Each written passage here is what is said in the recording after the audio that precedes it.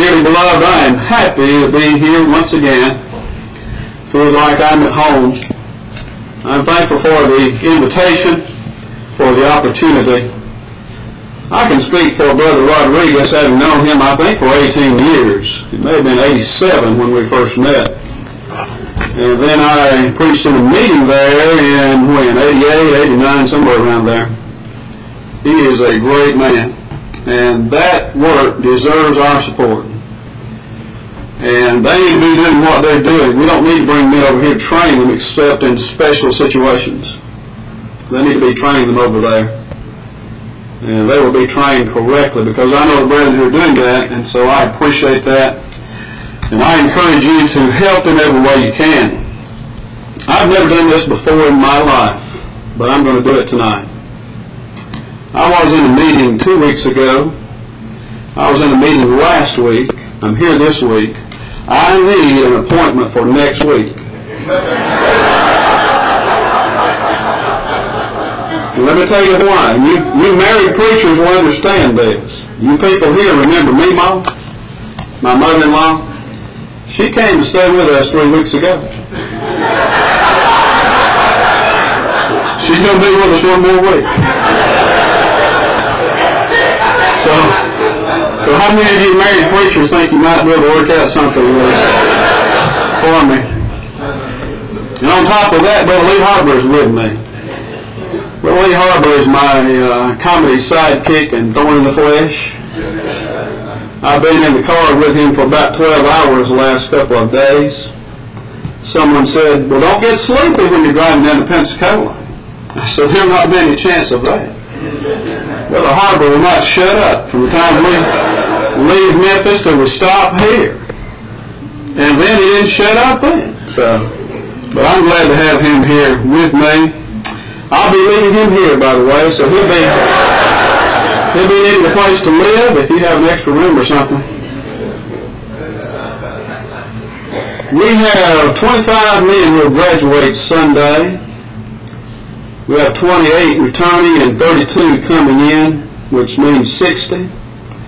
And I told Brother Cates I was resigning because those are too many papers to grade. And just, but we're, we're thankful for that. But we do have a need also. We need some support for these fellows.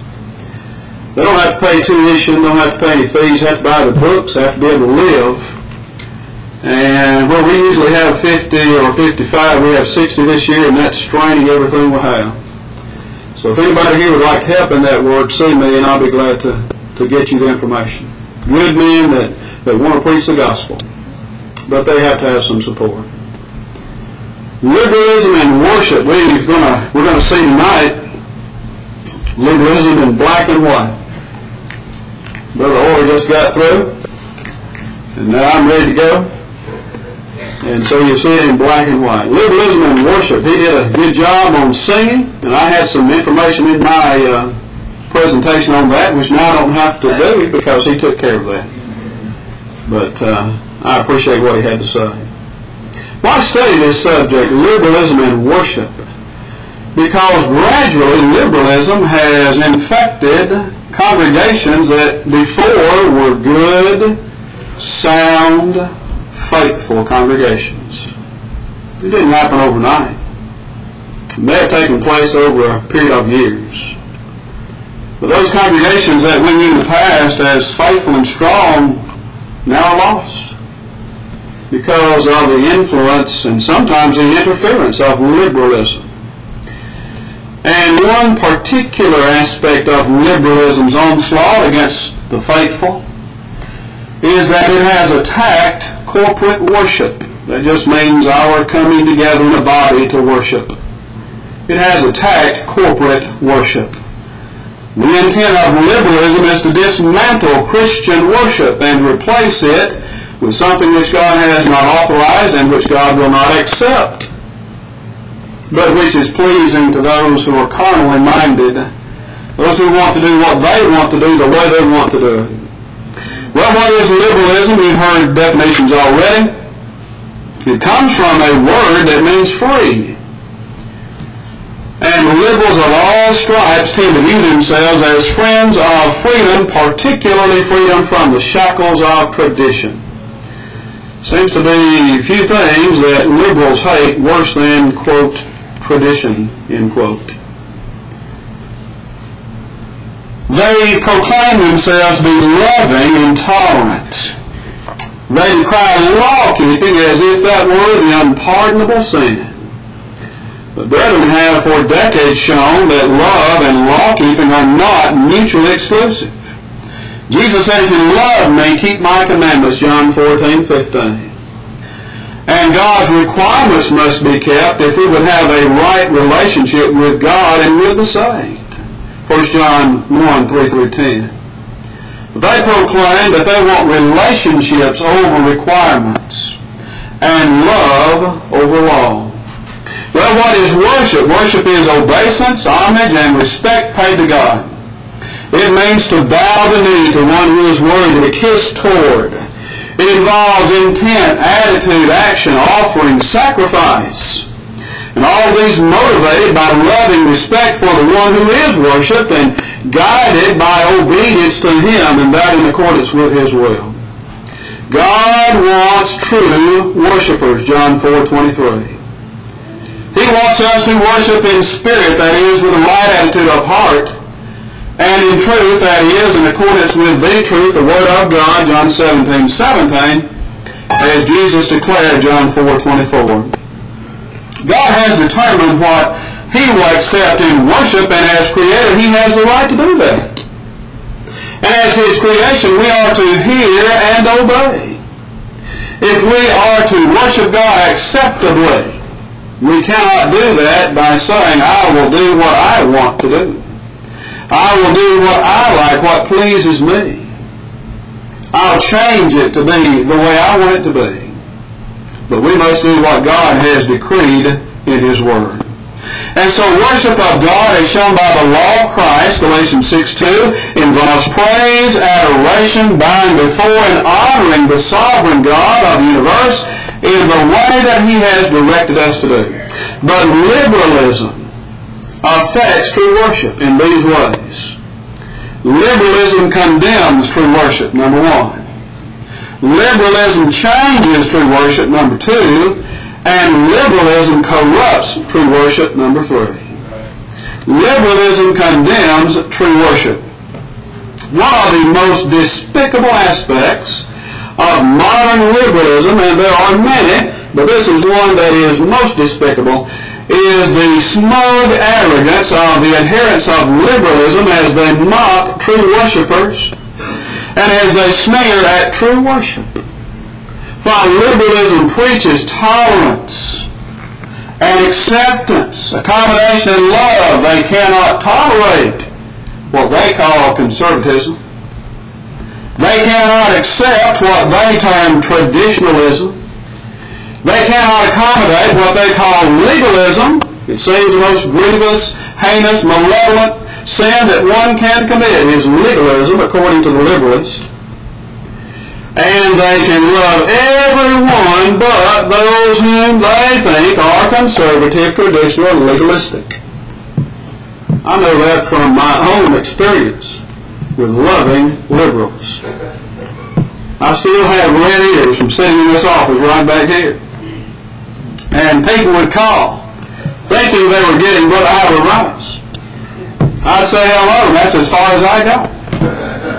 And I listened for 30 minutes as they just ranted and raved and called me, and everybody hear everything but uh, what they to say. But I learned how to handle that. I would just write down what they would say, and when they finally took a breath, I'd say, now wait a minute, let me see if I got this right.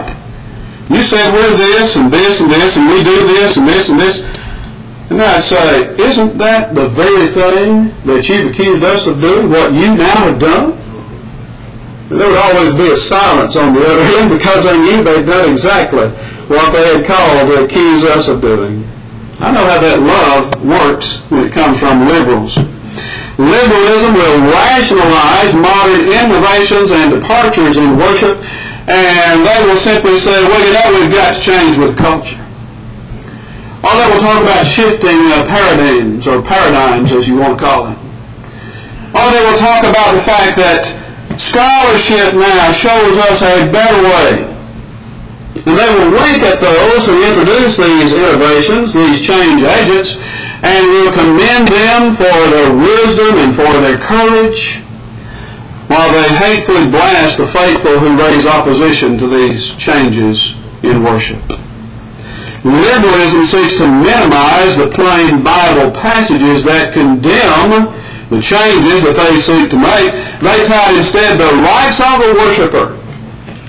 They'll talk about how the worshiper is to worship in a way that is uh, pleasing to him, acceptable to him. And they will appeal to the fact that they say we must make worship palatable to the non-churched. Now, I understand there are people who are not in the Church of Christ who are looking for the truth and who will be receptive to it. But you know, there's some people that are in the non-church that are that way because they want to be that way. They don't want to hear what God has to say. They're not going to do what God says to do. They're not going to be what God wants them to be. That's why they're the non-churched. And so what they're saying is we've got to make it fit now where the non-church will find this appealing to them. They mock the simple, orderly worship that faithful brethren have been offering to God since the beginning of the church here on the earth on Pentecost Day, Acts chapter 2. They'll mock that, make fun of that, as we're going to see in a moment. Proverbs 17, 15 says this about such men. He that justifieth the wicked, and he that condemneth the just. Even they both are abomination to the Lord. And that's exactly what is taking place. Rubel Shelly is one of the leaders of the modern blight of liberalism, and along with Randall Harris, he wrote a book called The Second Incarnation. And they show their despite of the churches of Christ in this book as they misrepresent and they characterize in a very bad way members of the church and the church in general, let's notice some things they say. The tired, uninspiring event called worship in our churches must give way to an exhilarating experience of God. You can see how they think about worship. It is tired, it is uninspiring, it's an event. But notice they said in our churches. I think that indicates something. Our churches. Well, I know what they mean. But the church is the Lord's church, not ours. I think that shows a problem right there. They've got an attitude that somehow it's our church. It's the Lord's church. They quoted David Tozer, who said, The gospel as preached by good men in our times may save souls, but it does not create worshipers. That is absolutely preposterous. You're not preaching the gospel if you're not creating worshipers. In the book of Acts, when people heard the gospel, believed it, and obeyed it, what did they do? They became worshipers. They say, oh, it won't create worshipers. Well, if it's not, you're not preaching the gospel. They write that the disinterest of non-Christians in the corporate event churches called worship assemblies Again, they call it an event, not worship. And even those who participate or who merely attend do so with a sense of hesitancy because of what they label the boring or irrelevant character of what happens in them. Young people sometimes complain about the archaic language and dull music of the church's hymns. I'm not surprised at that. Everywhere I've ever preached, there have been some who would complain. It wouldn't matter what you did. If you did just like they said do it, they'd complain about that. Something wouldn't be right. And so just because people complain doesn't mean it's wrong. I've preached sermons before and one person come out and just praised me for a wonderful sermon. The very next one then I couldn't preach my way out of a wet paper sack. Same sermon. Irrelevant? Well, not unless you're ignorant of the Bible and the doctrine of worship. Well, they continue. They talk about a personal encounter with God. Now, the dictionary says that an encounter is a violent clash, a meeting between hostile factions or persons. Now, where do you think they got this word encounter? They didn't get it out of this book. They got it from their denominational cronies. That's where they got it. I grew up in a denomination. I heard that word a long time before Dr. Shelly discovered it. I know about encounters. I've been hearing all my life. They say oh, only when an encounter with the living God is fostered with whatever feelings may accompany that encounter has worship transpired. So you never worship unless you've had an encounter with God. What does that mean? A violent clash. A hostile meeting. I don't guess I've ever worshiped. They have a new tradition to replace the old tradition. And this shows the arrogance of such thinking. The new tradition is better because it's their tradition. They came up with it because they are superior in their scholarship and in their spirituality as they see themselves. Second Thessalonians 3.15 tells us we're to hold on to tradition. Hold fast that tradition, which you've been taught whether by word or by our epistle. They say we impoverish our worship by restricting it with tradition. They say that becomes stifling. It closes off creativity arising from the Spirit of God and reduces the worshiping body of Christ to a rigid formality. Now, the first thing that I wonder about that is how do we know about the creativity that arises from the Spirit of God? Is that through some feeling or a voice or a sign, some miraculous uh, demonstration? How do we know about that? How do they know about something that arises from the Spirit of God, some creativity that we've stifled by our tradition? Are they not reading the same book that we have? Everything we know about how to worship right here, friends. This book tells us why we worship God and tells us how we worship God. What God will accept. They say contemporary as well as traditional music has its place in worship. Now, by whose authority? By whose authority? I was in a place, well, I'm not going to say where, but not too long ago, and had a fellow leading singing, and I appreciate the fact he was leading singing. I know it takes courage to get up and lead singing. I'm not a song leader, but I appreciate the fact he was leading singing. But he led a couple of songs, and he led both of them to the same tune, which was not the tune of either one of those. It was it was sounding like Home on the Range. And I've never sang just as I have the home on the range before, but I have not. I don't know if that's contemporary music or what that was. I think it was a mistake. He says, they say individuals, groups, and the entire congregation may offer the music under different circumstances. And Brother Orr just dealt with that. Colossians 3.16, Ephesians 5.19, we're all, we're all commanded to sing in corporate worship to God. But he continues by saying, silence and hubbub, planned and spontaneous services uh, may have their place. Yet a repressive tradition will likely dictate a narrow range of possibilities and confine worship to a predictable routine. They continue, when the Spirit of God is present, it will not always be possible to determine the atmosphere in advance. Leaders may intend to prepare for a service of one sort, and God may bring about another end to His glory. I don't know how long it was ago that uh, Brother Hatcher sent me a letter inviting me to come to be on this lectureship. But I do know this. If it was six months ago, eight months ago, how long ago it was, I knew when I opened the letter and read it what we'd be doing tonight. It is predictable. Well, how is that? Because this book predicts what we are to do. It tells us what to do. And if that's a narrow range of possibilities because there are five acts or items of worship that God has prescribed in this book, if that makes a range of possibilities now, that's the way God wants it to be. It may go that narrow way that leads to eternal life, Matthew 7, 13 and 14. But they say, you know, I may not be able that uh, you can predict this. You may not be able to predict it in advance. You may intend one thing, and something else happens when the Spirit gets a hold of you. Well, they got to blame that on God, see? And departure from God, uh, that's obviously the Spirit's work. They'll blame that on God. And they say, we dare to offer a few suggestions. On public prayer, they say we need to write more prayers. Write and read our prayers.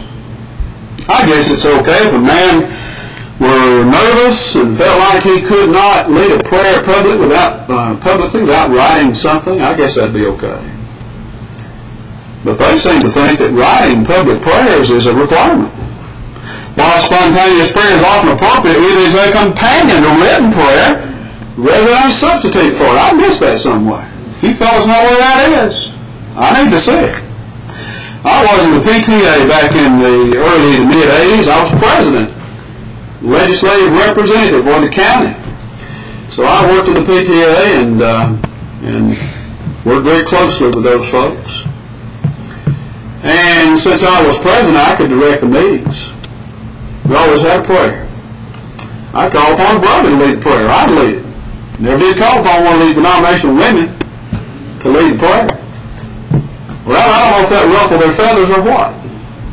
But they came up with this idea. We're going to have written prayer sent down from the PTA headquarters. And so you've got to read the prayer. Well, I haven't read one of those prayers yet. Those were generic nothing prayers is what they were. To somebody somewhere, maybe, if there's anybody out there, about something, if there's anything to pray about. Well, I guess it's okay to write a prayer if you couldn't pray any other way. But I don't know that this book commands that, as they seem to indicate. On preaching, they say we encourage the development of more theological preaching. More theological preaching. Those say more biblical, more scriptural, sound, faithful gospel preaching, more theological preaching. I was preaching in Memphis at a congregation there, and a lady who really didn't care too much for me anyway told me one day, as she quite often did, about my preaching, how bad it was. She told me one day that I needed to preach more like Brother Johnson. I said, well, how is that? She said, Brother Johnson uses a lot of philosophy in his preaching. I said, well, sister, all I have to do is just preach the Bible. And if you want to hear gospel preaching, I'll do my best to do that, but I'm not going to preach philosophy. She didn't seem to appreciate that. They recommend testifying with some reservation. We also suggest the use of testimony in the assembly. That doesn't surprise me a bit. Does not surprise me a bit. That's where they're going. On structure, they say we need variety. We've got stagnation. We can't have stagnation. We've got to have variety. Two songs of prayer and a song would be just almost unbearable for these people. So we got to have three songs in a prayer, or a prayer and two songs, and another prayer, or something. Uh, we can't have two songs prayer and a song whatever we do. All that it means is that instead of having two songs of prayer in the song, you start a new tradition where you do something different all the time. You still have a tradition, it's just a different kind of tradition. We want to be stagnated. They say there's a place for raucous celebration. A place for raucous celebration. Well, there is a place for that. It's on the ball field when Alabama's won or something. It's not in the worship service. Place for raucous celebration. They say none of us has the right to dictate how things always must be. Well, God does. He says right here in this book how we are to worship Him. And we have no right to quench the infinite variety. Infinite means there's no end to it. Infinite, no end. Infinite variety of loving responses to the presence of God and so we will respect what others do and we will not try to judge them and so on. In other words, if somebody wants to dance in the aisle, that's the way they want to do it. We shouldn't have anything to say about that. Want to shout and jump the benches and roll around, we should just say, isn't that wonderful? There's an infinite variety of ways to worship God. Then they plead for the Lord's Supper to be the focal point of the church's corporate worship. Uh, Shelly's clone, protege, uh, John Mark Hicks has written on that. Some of you probably have read that. And they have the prescription for dull, boring worship. That we could so spoil worship as to make it dull and boring to ourselves and unattractive to non-Christians is scandalous. Now notice the two groups there. Dull and boring to ourselves and unattractive to non-Christians. Where is God? Where is God? Our worship is to be offered to God. And we ought to be happy with that. And those who are outside of Christ need to learn to be happy with that as well. And they will if they hear, believe, and obey the gospel. So let's recap some of these things. According to them, our worship, as they put it, is tired, uninspiring, dull, boring, predictable, stagnated, repressed, impoverished by tradition, to a narrow range of possibilities, irrelevant to Christians and unattractive to non-Christians. Does that make you think that liberalism condemns true worship? But they also change true worship. The first question we need to ask is, does worship need changing? Worship that is offered to God the way God says to offer it does not need to be changed. The second question, question is, who has the right, the power, the ability to dictate what changes are to be made in worship? What man has that power? Well, there is no man. We need to study God's Word and know what it says. We need to believe what God has said. We need to do what God says in His Word. And we need to refrain from doing either what God has not said to do or what God has said not to do. And we learn all of that right here in this book. So we must worship God acceptably, and we can. Thou shalt worship the Lord thy God. Matthew 14. Worship him in spirit and in truth. John 4, 24. Now the Bible records cases of those who attempted to change God's Word and to change worship. Satan was the first change agent. He said, You shall not surely die. Genesis 3, 4. He couldn't change the truth or the consequences of disobedience, though. Cain tried to change worship. Genesis 4. He did not offer his worship by faith, as Abel did. Hebrews 11, 4. And Genesis 4, 4 and 5 says, Unto Cain and to his offering God did not have respect. He did not accept that. The Hebrews, as they came out of Egypt, Exodus 32, tried to change the worship.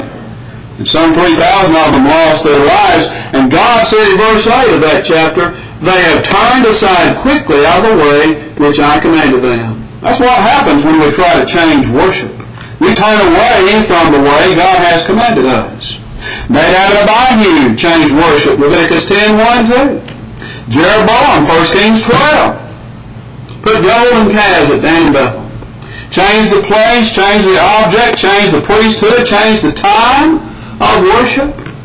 And we just heard about what happened to him because of his sins. Well, modern liberals want to change the worship as well.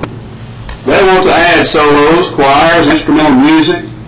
They want to sing during the Lord's Supper. One lady came to me after she visited off in a place in Memphis and and she came back so excited and she said, you know, they sang during the Lord's Supper. I've never experienced that before. It was so wonderful.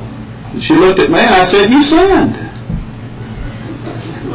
And you would have thought I'd hit her in the face with a wet cat.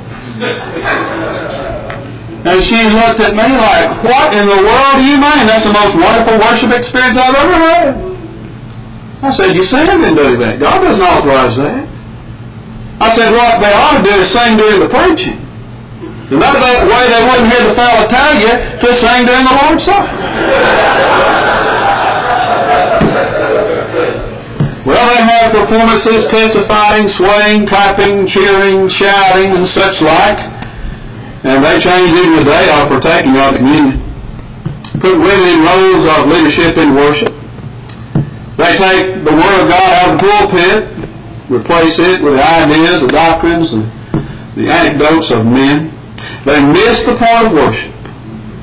Worship is not focused upon man, but upon God. It is not a performance that we observe, it is a participation. We worship God. It is not for our entertainment. Or to bring us joy. It ought to cause us to rejoice as we worship God acceptably. But it is not focused upon man. God has commanded worship that is simple and sincere, that is reverent and orderly, and that does not appeal to carnal men pleasers. But not only does liberalism condemn worship and change worship, it corrupts worship. Because any change that man makes to what God has commanded is a corruption. It is never going to be better. It is always going to be worse. I was in another country. I won't say where it was, Russia. But I was in another country, and I was looking at their alphabet. And I thought, what in the world is this? They had backwards numbers and upside down letters and things, and I thought, now if you want to mess up an alphabet, this is the way to do it. Now if you want to mess up worship, just let the liberals get a hold of it. And that's what they'll do. They corrupt true worship. The focus of worship changes. The attitude of worship changes. No longer is it worship with the heart from the spirit of man. It's not appealing to the spirit, it appeals to the flesh now. We're trying to please the flesh instead of worshiping God. It changes the pattern of worship from truth to error.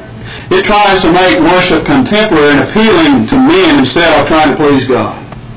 I left a church of man for the church of Christ, Romans 16, 16. And I left all this junk behind me when I left. I thought I did. And now we have brethren that are trying to out-denominationalize the denominations. It's amazing to me. In that denomination which I was, I heard that you can do in worship what you like, what makes you feel good, what you interpret the Bible to allow. You can do that in worship. What pleases you. Or if God has not specifically declared, thou shalt not do this, then you can do that and be okay in it. Liberalism is doing the same thing today. My observation is this, they're just copying the Southern Baptists. They've fallen in love with Southern Baptist doctrine. They're teaching Southern Baptist doctrine. They're changing or trying to change the worship to Southern Baptist worship. Now, I have family members who are Southern Baptist. Matter of fact, there are about 12 or 13 preachers in those family members. And I love every one of them. I surely do. I want them to hear the truth, believe it, and obey it. But I'm not going to join in with them just because they're my family and because I want to be pleasing to them. At least that's just a fly. I was preaching last week. There was a horse fly. looked like a bird. Chased me all around the pulpit. So at least I'm just drawing flies down here, not horse flies. Now I want to read a couple of things in the next 10 minutes that I have here. One is about uh, Max Lucado, and he was interviewed, and I've got all this in the book. And in the Baptist Standard, they talk about some churches of Christ that are using now instruments. And uh, you can read that. But Max Lucado is minister of Oak Hills Church of Christ, they say. Why are you the Church of Christ minister? Well, his dad was an elder. He went to Abilene Christian University, where his professors had a profound influence on him, he said. But he had been a part of a church in Abilene that was a progressive, grace-oriented church so he didn't feel like he needed to change churches. He said, if I should leave Oak Hills, now listen to this, I couldn't see myself going to another church of Christ. I would go anywhere the Lord sends me. I think I would make a good Baptist. I think he's right. I think he's already done it. Then the question is, what do you say to those who say you sound more like a Baptist than a member of the Church of Christ? I say thank you, he says. I really do because I've benefited so much from the teachings of Baptists and so on. Well, shall we all just become good Baptists and just get along with everybody and be happy and, and all go to hell together? Worship in vain while we're here, Matthew 15, 9. Is that what we need to do? Liberalism corrupts true worship. Well, what can we do to stop the blight of liberalism on worship? First of all, we need to know the book. If we know the book, we'll know what's not the book. Second, we need to worship God in spirit and in truth. That will put to silence the critics of our worship, as they put it. If we worship as God intended, that will take care of that. I understand there's improvement sometimes for uh, various aspects of our worship. I understand that. I understand we need to be prepared. And we need to be sure our attitudes are all right. Worship is not a time to uh, be sleeping or passing notes, telling jokes, clipping fingernails, and doing hair, planning ball games, and uh, how we're going to cook dinner, and all those things. Worship is a time to pour out our hearts before God in praise to Him because our hearts are filled with gratitude for what God's done for us. And we stand in awe of Him as our Creator. His majesty and His might, His mercy and His love. And how can we then but worship God? He deserves the best we can do. Well, we have to expose liberalism for what it is, mark and avoid those who advocate it, those who are proponents of it. It does not give me any pleasure to say that this man teaches this or this man teaches that. I don't take any pleasure in that. But it's true. I didn't teach it, they did. They ought to be ashamed of themselves. They're going to be lost if they don't repent. And the sad thing about it is they're not going to be lost by themselves. They're going to take with them others, even whole churches, that they've led astray from the truth. Well, friend, don't let that happen to you. I fear for our children and our grandchildren. I fear for them. I wonder what influences will come to bear upon them in schools where they attend. In congregations, they may move off somewhere and, and move to uh, a place where a congregation there may not be what it ought to be because of the influence of men like we've been talking about tonight. It's, it's a dangerous situation. Souls are at stake. But I can tell you this, if we will hear God's Word, believe it and obey it, do what God has authorized, our worship will be acceptable. And our lives will be pleasing to Him, and we can be with Him eternally. It may be that tonight there are those here who have not as yet submitted their wills to the will of God, have not as yet partook of the great blessings that He offers in salvation, and that by the shed blood of Jesus Christ. You can tonight, believing in Christ, John 8, 24, repenting of your sins, Acts 2.38, confessing your faith in Him, Romans 10, 32 and 33. Uh, 10, 9 and 10. Matthew 10, 32 and 33. You can then be baptized into Christ, Galatians 3, 26 and 27. To have your sins washed away, Acts 22, 16, and that by the precious blood of Christ, Revelation 1, 5, that cleanses us from our sins, and we contact that in baptism. We're buried with Him when we're baptized and we arise from that watery grave to walk in newness of life, Romans 6, 3 and 4. If you haven't done that, why not? Why not? And why not do that tonight? Or maybe you haven't continued faithfully. Friend, let me tell you something. You're not only going to cause yourself to be lost, it may be that you help others to be lost. It may be that you help men just like we've talked about, who despise the true church and the worship, you may help them by your ungodly lives. It may be fodder for them. Don't let that happen. Be an influence for us for good. Make sure that you're ready for eternity and help all the others that you can to be ready by your faithful life. If you need to respond, we encourage you to do so while we stand and sing. Someday you'll stand